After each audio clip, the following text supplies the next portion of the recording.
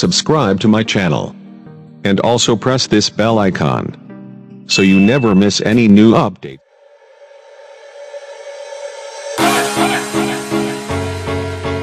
Ito